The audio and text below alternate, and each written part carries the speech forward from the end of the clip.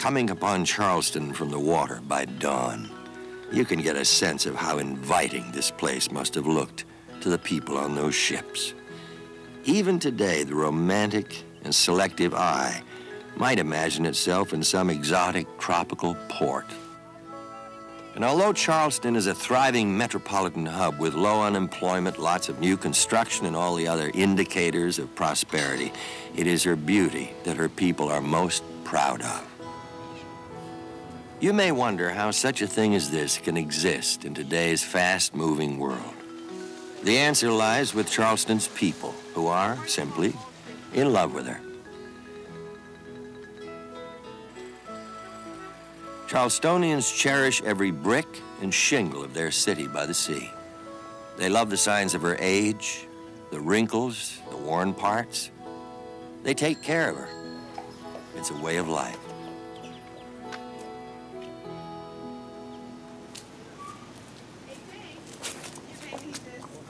Herbert DeCosta, one of Charleston's most prominent building contractors, is an embodiment of this attitude.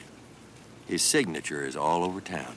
Well, I suppose I was sort of born into construction business. Uh, my father, you know, was a contractor, my grandfather. So uh, I grew up, you might say, playing on the lumber pile. my father had a very good reputation in Charleston. And of course, he insisted that everything be done correctly. I think you better check the plan. Tried to make it as authentic as possible. I think we had two plates in addition to the wood beam. And we tried to use the same type of materials and in a lot of cases the same methods, you know, that were used. Because those are very valuable and that's authentic, so we don't certainly don't want to lose those. Hey, Robert!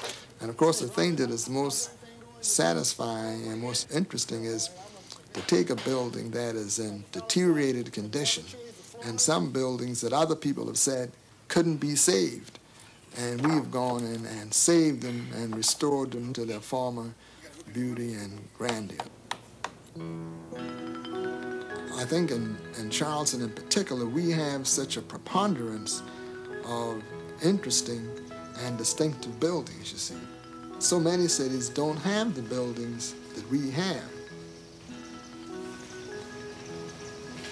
So what we should do is find some old hard material and then make these rail caps with this slope on it.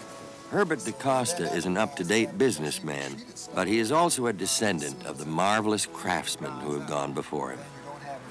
As you know, we just finished uh, restoring the top part of this building. And so on this fine summer evening, as he strolls with his wife through his city, Herbert DeCosta has the satisfaction of knowing how much of the rarity and the beauty of Charleston is due to the skill and devotion of her craftsmen. The first you know, fireproof building you know, to, be built.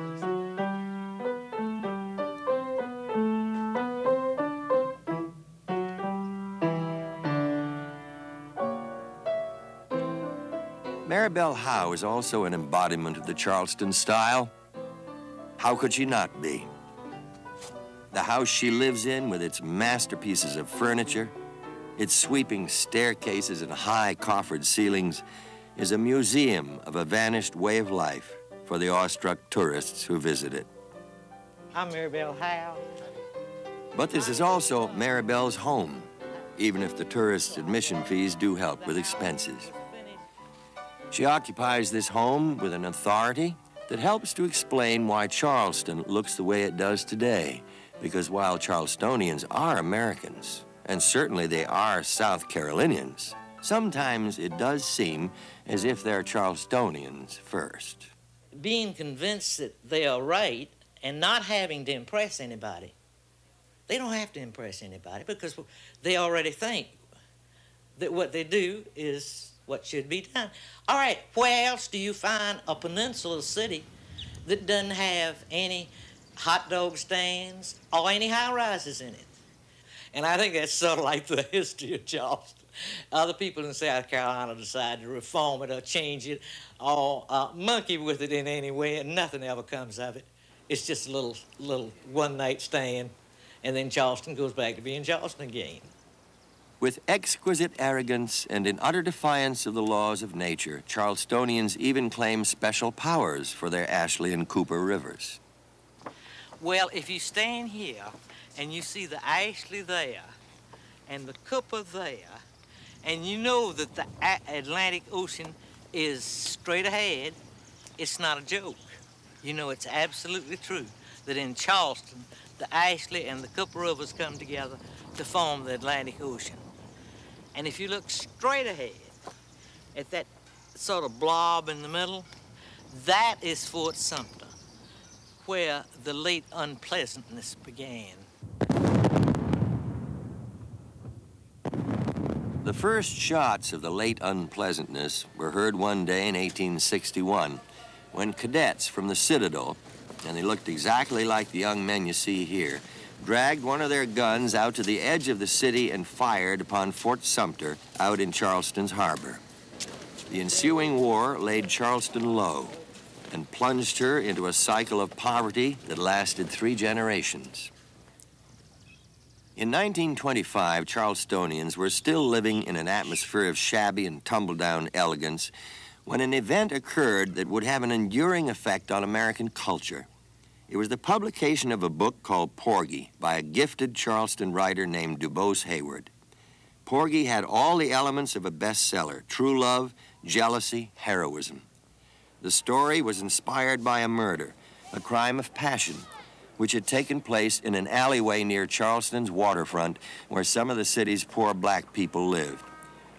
When the great composer George Gershwin read Porgy, he knew instinctively that its setting and characters could inspire some of the best music of his career. The collaboration of Gershwin and Heyward produced America's greatest native opera, Porgy and Bess. I'm on my way. Okay, accent that all the way through, okay? Today in Charleston, Porgy comes to life again. Let's try it. Oh, oh, ready. Oh. Jim Edwards is a school principal by profession, but he's got music in his heart. And so do all the other people in this room. These are the Coraliers, a dedicated amateur singing group putting in long hours after work to bring music to their city. This is that place where Porgy and Bess lived when I was uh, living. And you see there's a gate on the other side? Yeah, it leads you all the way through to Meeting Street. Septima Clark knew the real Porgy and the real Bess. She remembers the colorful but violent neighborhood they lived in back in the 1920s. When Porgy, a gentle beggar, killed his jealous rival here in Catfish Row in a fight over the flamboyant Bess, it was big news in Charleston. Bess, um, we call her a high yellow woman. she was fair, with very pretty hair too. And uh, she was very stout and had a lot of, um, uh, what, some kind of an activity about her when she walks. yeah, she was a great person though, I felt. It's just uh, too bad that Porgy loved her so that he wanted to kill somebody about her.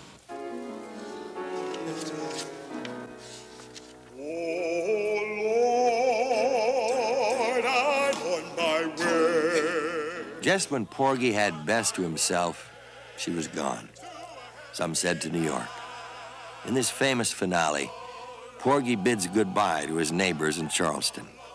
He doesn't know much about his destination, not even how far it is, only that he's on his way to find the woman he loves.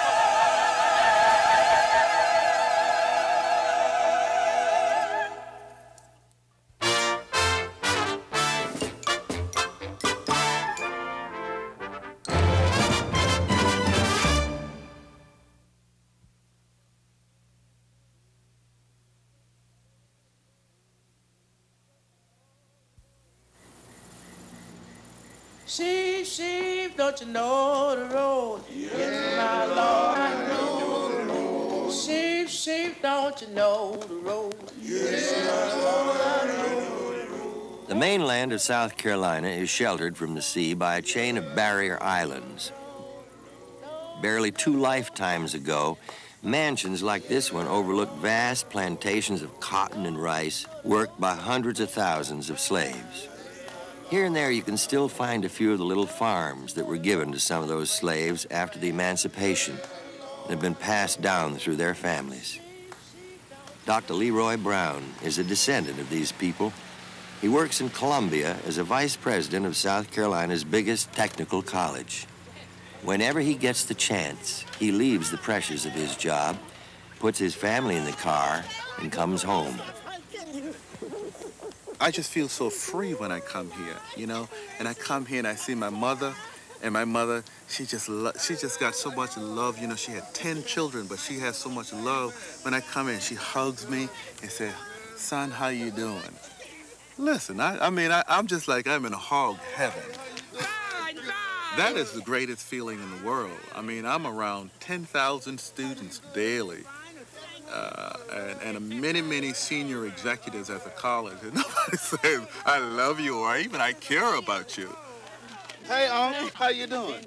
That's. As much as he loved his familiar island home and the warm embrace of his family, a day came when it was time for him to leave. Much more than I had anticipated. I felt that intellectually or mentally that one could still be enslaved. This St. Agnes house, we used to grow up in a house just like this is. And therefore, I sought uh, to go to school and to try to come back and make my mother and, and father proud of me, to, to help others, to want to, to realize the potential of higher education. Because my daddy was born right over there. If you want to make it in this world, you've got to be educated. Since we've been living in Columbia with all that hard rocking thing, you got when you come down here, I always seen you walking, but in the country, man, you got to walk free and float and kick your kick your feet up in the grass and stuff like that. That's the way we do in the country. Matter of fact, you know, you you got you always had shoes. When I was a little boy, I was in the third grade before I got my first pair of shoes. And then those were those were the pairs that were hand me down from my next to the oldest brother Earl. Beautiful and wild land like this, cut off for so long from the mainstream of American life, is now under intense pressure to be developed for second homes and retirement communities. As far as your eyes could see along right here was just nothing but sweet potatoes. By a strange turn of fate, Roy Brown's home place is now valuable real estate. The temptation to sell has been irresistible for some, but the Brown family isn't taking any offers. For them, the ability to transmit a precious heritage to their young people is worth more than money. When we grow up on the island, you know, when you turn 13 years old, the Bible says you become of a man then, and then all you, you, you, you accept all the responsibility for your sins. This is the place that each one of us find. And for, for three months, you come here, all you do is go home to eat and come back here to pray. But this is a real sacred place.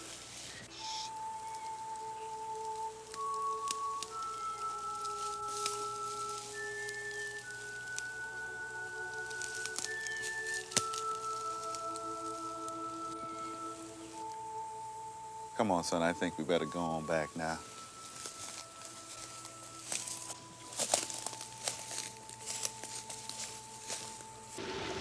Weston, grab that line down there for us. Several miles up the coast, Eddie Gordon runs a crab packing business. For him and the people who work with him, the coast and the water are the source of their livelihood, a somewhat unpredictable livelihood. Glad y'all can make it in. I was getting a little worried about you with that hurricane out there. I believe the storm has the crabs scared. Oh, that's not going to be much to, for us to work on today. On most days, the hold of this boat would be filled with crabs. But a hurricane lies offshore this afternoon, and the catch is poor. These islands don't give up their treasures easily, and beneath the calm surfaces of this landscape, there's a harsh reality that takes years of experience to understand and find your way in. When I first started, I crabbed and fished, you know, on a recreational basis, but as far as really understanding uh, the intricacies of running a crab business, it's pretty much at the mercy of uh, my employees here and, and some of the crabbers and I had to lean on them fairly heavily.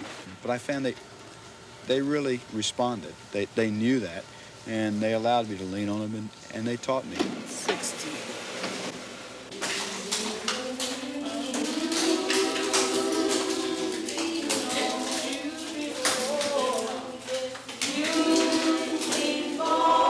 Us remember this little world on a dock in McClellanville, South Carolina, and feel happy we have seen it. It may not be here for our grandchildren.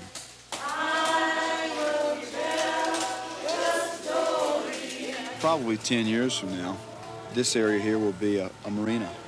Um, probably right here will be a, a, restaurant overlooking the beautiful view. Uh, condominiums sitting around the point here. Um, it's valuable land, and uh, people with dollars are voting with those dollars that they want to enjoy this view some of the more recent developments have come in and, and I'm sure that's what will happen here. I just hope it's done gracefully and, and protect as much as the environment as possible. So ultimately, this way of life must bow to powerful economic forces which lie like the hurricane, not far offshore. The development of nearby Hilton Head Island has changed the face of the South Carolina coast probably for all time. When a brash young law student named Charles Fraser visited this remote and beautiful place in the 1950s, its few inhabitants were people not unlike the family of Leroy Brown, living off what they could farm and get from the sea. As he contemplated this landscape, Fraser envisioned houses, streets, marinas, golf courses, a complete city blended into the land and water. His concept was ridiculed by many, but today Charles Fraser has proven his idea many times over. Okay. His way of doing business may seem informal, but Charles Fraser knows how to put a deal together. Phase one will carry Arrowwood across the road, make a curve, put in the golf course, put in the chapel, uh, put in the polo fields. Uh, we'll have available. As you know, I'm specifically interested in that uh, 16 or 17 acre yes. commercial tract. And, and, fortunately, I have other other uh, excellent people who are interested in it as well, and I hope that you will pay as much as they'll pay, because if you will, uh, then I'd love to have you as the, as the buyer. When Charles Fraser speaks, it is with conviction and fervor development essentially means providing houses for people who've got to have a house. Now, how we do that is the issue. Do we do it in a responsible fashion that looks five years ahead, that looks 20 years ahead? Now, in coastal development, for recreation areas and retirement areas, development here means keeping out ugliness that seems to follow the flow of traffic.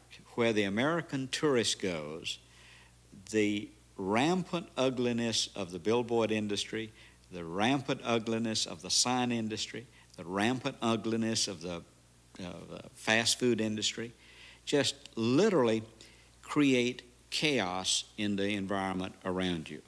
How do you keep them away is the issue.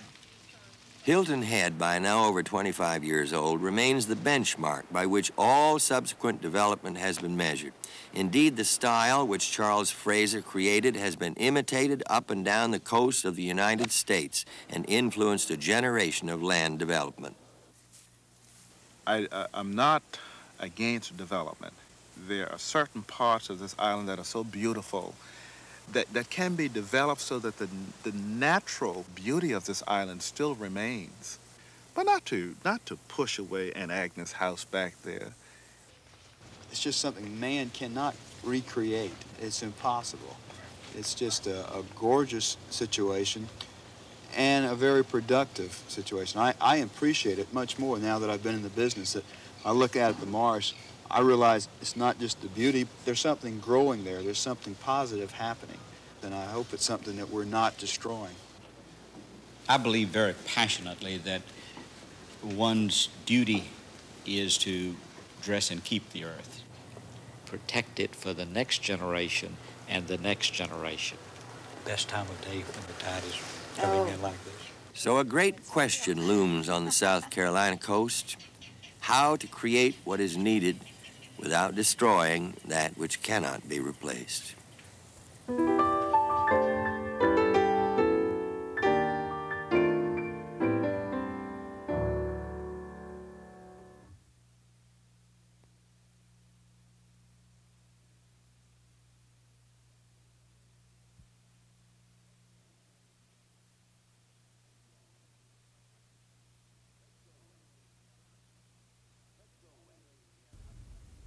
Let's go west, up country, all the way to the other end of South Carolina, into the Blue Ridge Mountains. The accent is more twangy up here. These people's ancestors didn't come by ship from any Caribbean island, bringing harpsichords and fine china and servants. They came by wagon and they walked. Tough Scotch Irish farmers from up north. Like other South Carolinians, these mountain people are protective of a way of life that has sustained them for many a year. Cousins General Store carries canned goods, dairy products, magazines, and all kinds of things you need for your everyday life. But on Saturday nights, Cousins is stocked with something that's good for your soul. That's when friends get together and sing the kind of old-time music that's been heard in these hills for generations. So let's get together and do this one about the Carolinas, cabin in the Carolinas.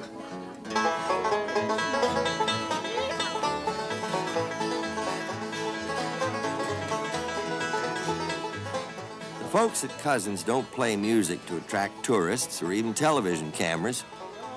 They play to share themselves with neighbors, to celebrate their commonality and closeness, to be part of the great unbroken circle.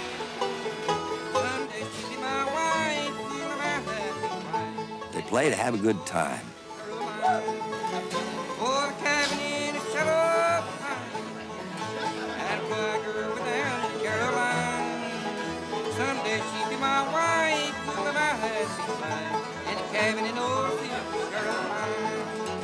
This is how traditions are preserved in the mountains of South Carolina. Not so much in books and in libraries as in the hearts and the memories of her people.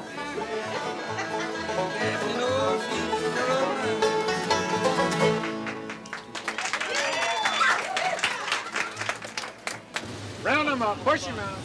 Southern 500, a big time.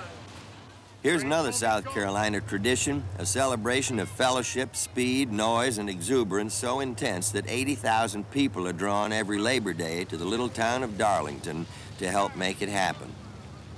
It's called a stock car race. They take this kind of thing seriously in South Carolina, especially this race, the Darlington 500, the original stock car race where the country boys' sport came of age back in 1950. Darlington Speedway is the most unpredictable, hairy, and treacherous track in the United States. The track, as they say around here, that's too tough to tame. This is the fourth turn at Darlington, the turn that so many of the drivers consider as the most treacherous turn. You go into the fourth turn, of course, as you go down the straightaway, you have to come back out from the wall. A lot of the younger drivers have to learn this the hard way and they get their colors put on the wall because of it. As you look into the infield, the crowd is growing by the minute. You have people in here that take their vacation time from their jobs just to be a part of this. It's a crowd that you must see it to, or be a part of it to ever really believe what is going on in the infield.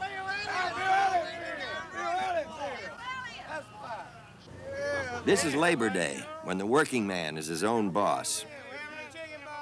And the people who come here this weekend intend with all their hearts, minds, and souls to have the kind of good time where you let your hair all the way down, where you can be yourself completely, where you can relax and not think about anything you don't want to think about. This is a real get-together of good old friends that like to get out and have a good time, eat a lot of food, get some good fresh air, watch a good race or two, and listen to some good music, and just have a good time without worrying about business or anything. Darlington's the place to see a guy like Cale Yarborough, who doesn't look all that different from most of us, attain heroism in a hopped up Thunderbird. got to win this race today. Well, I hope we can. I got a small farm in Georgia, baby. Well, the fans are very supportive, and fans uh, make you do things sometimes that you really uh, think maybe you can't do. And I think that uh, that's one thing that makes auto racing very big. The fans in the grandstands, the fans in the infield, they'll let you know that they are pulling for you, and they'll let you know that, that you have their support, and it'll make you work that much harder. Cale Yarborough is one of the great champions and a favorite of many in this crowd. He was born and raised in Timmonsville, just 14 miles from the Speedway. The first race I came here, I was a spectator. I didn't have enough money to get in the racetrack, so I slipped under the fence. Got in here free and watched the race. And uh, since then, I've been uh, over the fences, under the fences, through the fences with a race car. I've won this race five times, and nobody else has even come close to that. So I feel like that uh, even though the racetrack has beaten me quite often, uh, I've had my share of beating it too. Think you might like to try driving one of these things 367 times around the track at about 155 miles an hour? An economy model will set you back about sixty or seventy thousand dollars. But even if you had one, you wouldn't get very far in it without a crew of ace mechanics like these guys. They've been working since dawn. And now in the final moments before the race, they're doing everything they can to get every last bit of performance out of their machines. a little bit up. Cale Yarborough's main competition today is a man who drives this car, Bill Elliott, up from Dawsonville, Georgia. Elliott's one of the best in the business, and he's sure on a winning streak, but he's never beaten this track before. Record crowd is on their feet as we're set to go. Finally, it's time for what everyone has come here to see. The 36th running of the Darlington 500.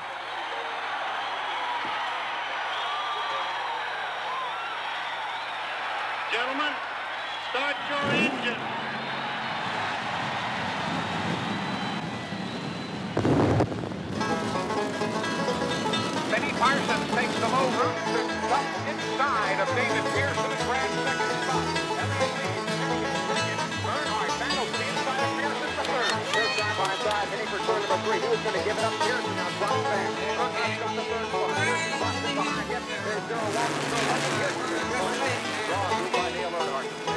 spot.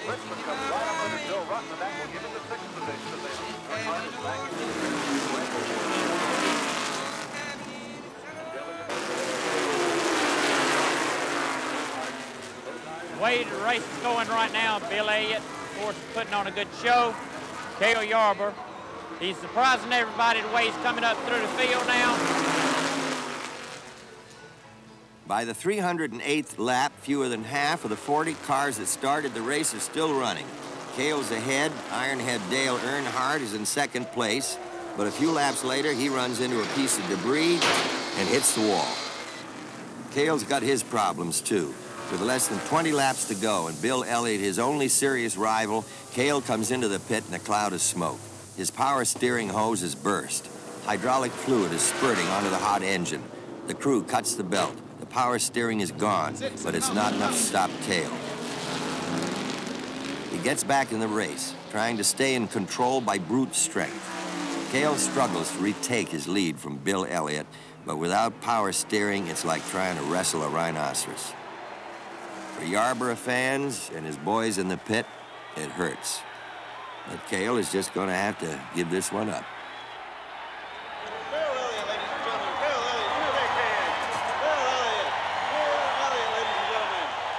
We just have to come back next season. You know, we got three more races this year and give it another shot.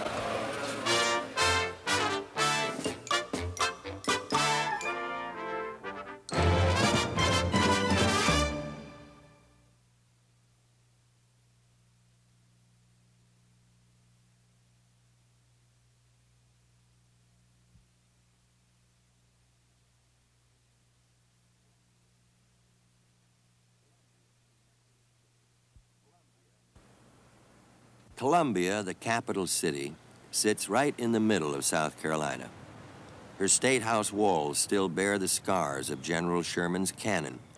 witnesses to the violence of the Civil War, which just about leveled Columbia and transformed South Carolina from the wealthiest of southern states to a devastated shambles. South Carolina's textile industry provided the base upon which her destroyed economy was slowly rebuilt. For six or seven generations, the textile industry has remained one of the most important economic forces in the state. And there are few people in South Carolina who are not somehow related to someone who worked in one of these mills. Plant manager Ray Gregory is a fourth generation textile employee. His great grandmother worked 43 years in one of these mills. Ray's plant is usually a 24 hour, seven day a week operation. But today it's just starting back up after a week long shutdown as unsold yardage was beginning to pile up in the warehouses. On an average working day, the men and women of this textile plant bust open bales containing about 25,000 pounds of cotton. Step by step, they turn the raw plant fiber into thread, mix it with polyester, and weave it all into broadcloth. If Ray Gregory's great-grandmother were alive today, it might take her a while getting used to things around here, but she'd probably fit right in. As in the old days, the work is noisy and demanding. And the modern plant needs the same kind of people the old ones did.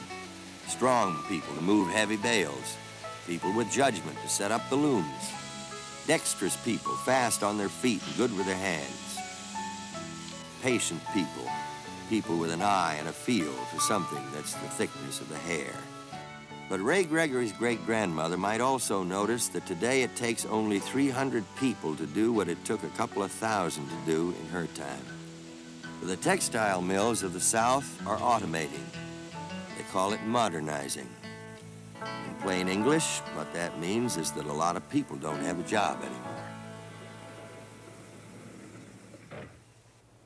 That's why Midlands Technical College exists. It's an enormous vocational training institution, one of the biggest schools in the state.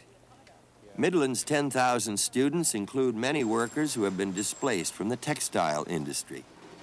Here, they're acquiring new skills so they can qualify for new jobs. The last time we saw Leroy Brown, he was strolling through the high grass of Wadmalaw Island with his young son. But his professional life is here, where he is the vice president in charge of student services. Well, I hope I'm, I'm ha I have something to share with them. I see those people okay. in a struggle trying to survive their jobs and their job skills taken right from under them. And, and, and you just got to want to do something to help these people. The system will automatically wrap your line for you. In other words, you do not have to ever return. I mean, these are people 50 years old in, the, in, in their declining years, and where were they going to find new skills and, and pick up and leave and go someplace else? You really had to give them a lot of support and a lot of counseling in order for them to, to accept what was actually happening to them. And that's been my life, to motivate, to inspire, and to make people feel like they've got a sense of self-worth and a sense of self-dignity. South Carolina is providing, I think, at this day and time, uh, opportunities for, for all uh, to, to make it. That is, if you've got the skill, you've got the education, and you've got the training, I think that the agencies here in South Carolina are ready to put minorities, women, into those uh, management level jobs that are going to be help the state to become better. This could not happen, I don't think, 10, 15 years ago.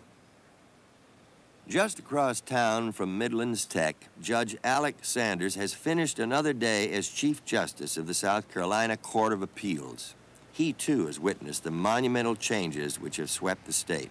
The great burden of South Carolina has been the specter of racism which hung over this state for more than a half century.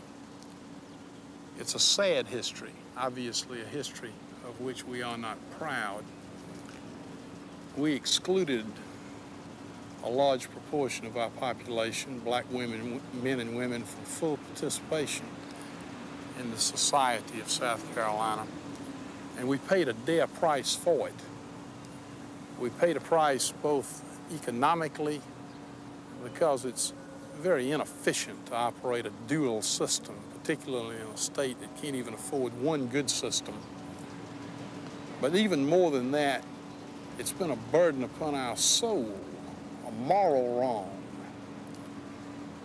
But South Carolina has looked racism in the eye in the last half of the 20th century and has not liked what it has seen and has effected enormous change. Every day in his chambers, the judge deals with disagreements, compromises, and the friction of human affairs. Like many of us, he needs a place to get away, where he can think and examine the values he lives and works by. For him, this place is the Congaree Swamp, just a short drive from downtown Columbia. It is altogether desirable, I think, that people who judge and presume to judge their fellow human beings come to places like this. If you come to a place like this, you get an acute appreciation of the fact that there's God's law and the law of nature more powerful, more important, more viable than any law us judges deal with. And you aren't tempted, you see, to play cards that you weren't dealt. In the swamp, you can really be alone. This is a quiet world, mysterious and slow. It's been 15 or 20,000 years since anything really major happened here. What I like to do often on a fall afternoon is come out here and climb up in a tree with my deer rifle and read the United States Supreme Court reports. Somehow the opinions of the United States Supreme Court seem to make more sense up in that deer stand. People sometimes ask me why I bother to take the rifle. Well, I have to take the rifle. If people learn that I climbed up in a deer stand and read the United States Supreme Court reports, they'd think I was crazy, wouldn't they?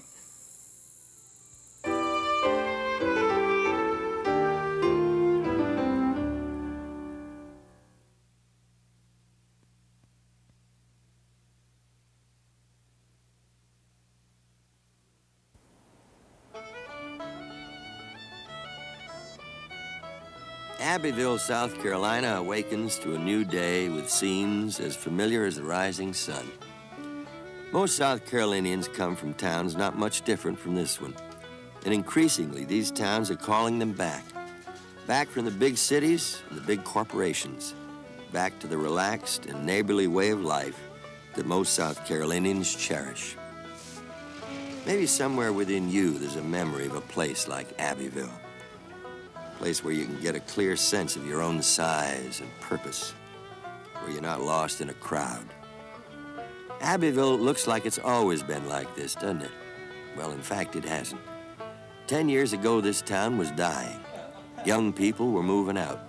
The stores on the square were boarded up. Today, Abbeville is thriving, renovated in body and soul, because townspeople like George Settles believed in the irreplaceable human values it stands for. The Abbeville Opera House, lovingly restored to its former elegance, is symbolic of the transformation. George Settles is old enough to remember when the Opera House played host to the traveling vaudeville shows which toured the South. In his imaginative mind, he saw it once again lit up, filled with people, and he heard the sound of music on its stage.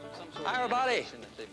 How's hey, it going George, up there? Uh, you're just in time. Uh, listen, the JCs are waiting to get in for the uh, rehearsal for Miss Abbeville pageant. Can you, uh, can you give us a hand? Sure. Uh, we want to fly in the scrim and, and uh, some of the stuff for him here. Okay. Okay. For me, it's almost like a dream come true. from the first time I walked into the theater, I knew it should be safe. And it didn't seem that a lot of people remembered its heyday. They understood what it was in its time but mostly just took for granted that it would never be back. Okay, good. The transition was terribly difficult to do. In the beginning, nobody could see it. Uh, nobody understood the idea of going back. By that, I mean restoring the buildings to what they were before rather than building new or making them look modern. Okay. Okay, is that what they asked for? That's yeah, it? Yeah, that's it. One of the happiest parts of the entire project for me has been seeing the young people coming back to town. Um, for a long time, when they left to go to college, they never came back, or maybe to visit once a year, something like that. But now, more and more of them are coming back. Uh, we must have upwards of 100 now that have returned, bringing their wives or husbands with them. To have them back is, is really uh, the, the best of all of it, really.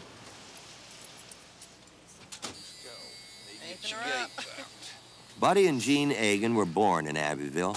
After high school, they went away to seek their fortunes. But a few years ago, they came back because for a close-knit family like theirs, Abbeville held out the promise of a better way of life. When they had the chance to buy this feed store, they jumped at it.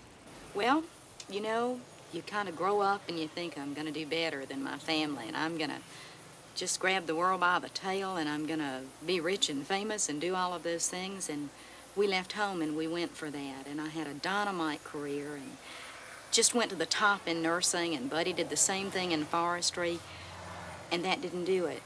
You know, we were looking for that brass ring and we didn't find it. So I guess that's why we decided to come back here. And I think after all those years of looking and searching and, and thinking, well, you know, the more money we have and the bigger house we have and the newer car and the more rings, the better off we'll be. Not so. It is not. We've got a car that needs tires now. We're building the smallest house we've ever had.